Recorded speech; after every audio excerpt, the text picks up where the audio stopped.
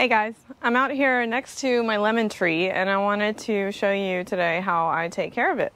Um, I actually bought this lemon tree from my local nursery called Rockledge Gardens um, in Rockledge, Florida. And um, I just follow their tips for how to care for a citrus tree. Um, I don't have any fruit on it this year. I think maybe next year is going to be my fruiting year.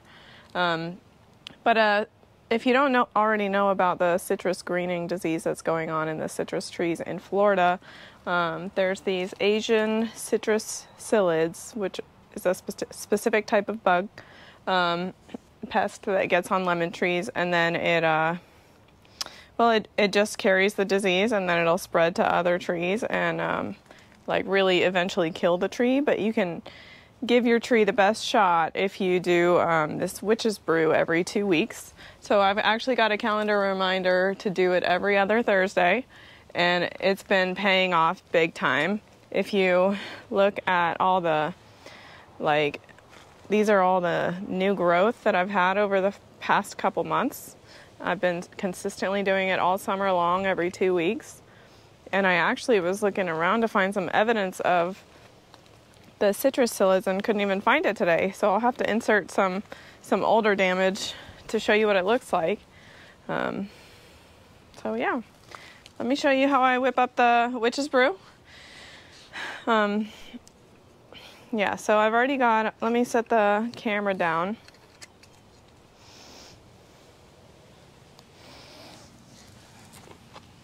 So I'm just outside. This is like in my front front yard. I've got this old like uh, you know uh, master blaster container and i just wrote the um, i like factored it down to this size and wrote down the recipe. So i've got like the one tablespoon of captain jack captain jack's dead bug right here followed by half a tablespoon of citrus tree nutritional spray Grow Scripts followed by a quarter tablespoon of Genysis, um, which is kind of like a fertilizer for a citrus tree. And I already went ahead and filled this up with water so I could film this out here. For, um, so yeah, let's just mix it up, and then I'll walk you through how I spray it. It's really pretty simple. Um, but the key when you're spraying it is, oops, probably over poured that a little bit. The key when you're spraying it is to get really the underside of the leaf. That's where a lot of the pests are going to hang out. Um, and uh, just half a tablespoon here. Just going to eyeball it. I mean, using my one tablespoon measure, just eyeballing halfway. And then the Genysis, a quarter tablespoon. So, usually, what I do to try to it's a little bit tricky, as you might imagine, to try to understand whether or not you covered every leaf on the tree. Um, so what I do is I I'll give this a good shake first, and then I basically pick a branch and I just spray it like every leaf on that branch, and then I move on to the next branch. Um, and that kind of helps me stay focused and make sure I don't like double cover leaves or miss branches completely. So like you can see right here, I'm just gonna grab this one right here and spray it.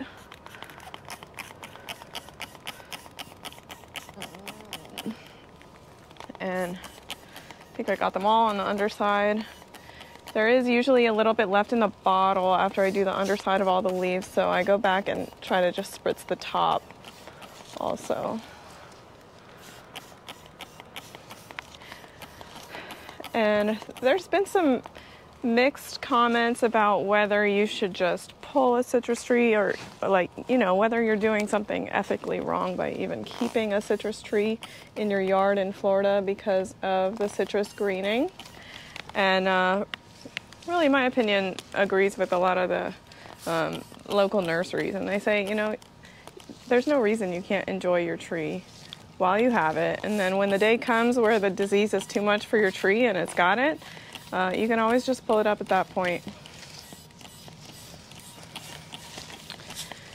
And interestingly enough, I applied last week for um, getting some biological control for the Asian citrus psyllid, and that is through the University of Florida. They have a program. I'll put a link to it at the bottom, but you can actually order the wasps. They're like mini wasps that wouldn't hurt a human, and you release them in your yard. And what they do is they lay their eggs on the Asian citrus psyllid, and then the larva will hatch on the on the psyllid, and then it'll basically eat it. So it's a biological control of the citrus greening disease for citrus trees by controlling the population of the Asian citrus psyllids. But I haven't heard back from the application. We'll see if I get it or not. I really don't have that many, so it wouldn't be. Maybe I'm not ready for it anyway.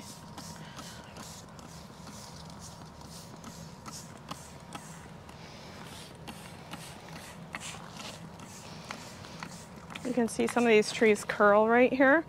Sometimes I uh, try to get your hands in there and uncurl it and spray within the curl and make sure you don't have any buried pests in there. I think this tree is just about done its like summer growth. I all summer long I was seeing these tiny little um, young growth pods at the end of every branch, and I'm not even seeing any of these today for the first time in months. And I think it's just, it means it's coming to the end of its growing season as we're coming into the fall. So once we reach the dormant growth stage in winter, I'll do some pruning and I'll do another video about that. I've never actually pruned this tree, it's only two years old. So that'll be a learning experience for me and I'll share it with you.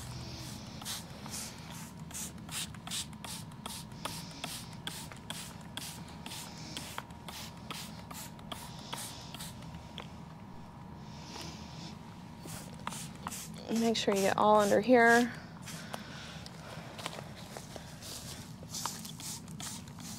I really have done almost like too good of a job taking care of the pests on the street. I don't have any pests to show you tonight.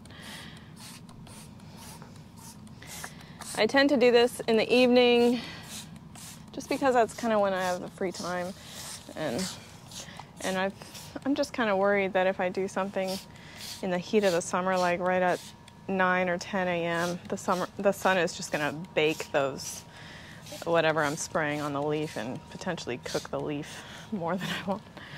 Um, they do warn against that for neem oil. I haven't seen that warning for Captain Jack's dead bugs or any of these other things, but just figured it was safer to do it later in the day. Or at least away from the sun.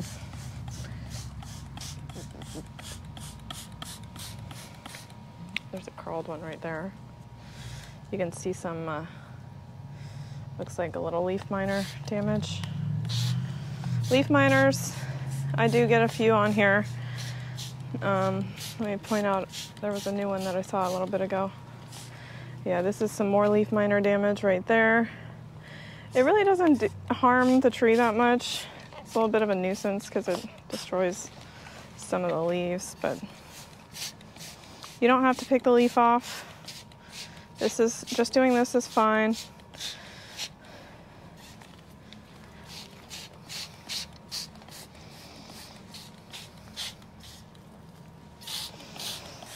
There is a portion on. Oh my goodness. Do you see that? Do you see it? Ah. I don't know what to do. Should I keep spraying? Is it gonna jump on me? oh my god, I'm freaking out. I've never seen that on my tree. I wonder if that's what's eating it. There's a couple leaves, I'll show you. There's a couple leaves that are eaten. Um, I need to do some research about that and figure out what it is. But, oh my gosh, I'm scared of that thing.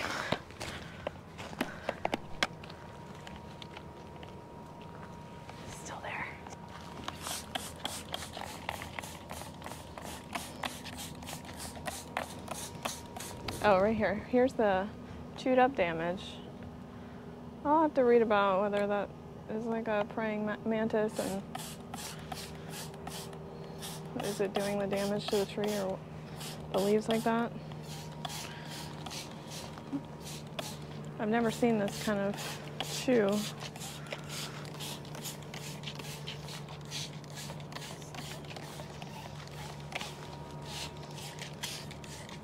And you can see I'm almost done the bottle. Just gonna kind of spritz the top of the leaves now over the whole tree until the whole bottle's gone. And then we're done.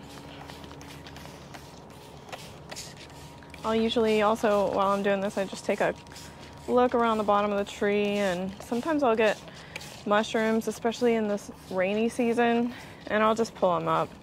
I don't know if they do any harm, but just pull them up.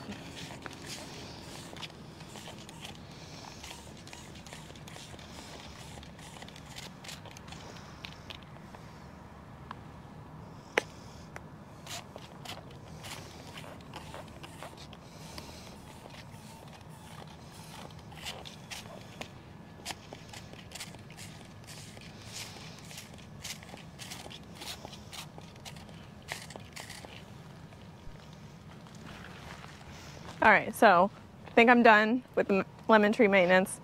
Hope you guys enjoyed the video, and I'll put a link to all the products below. Hope this helps you uh, keep up with your lemon tree.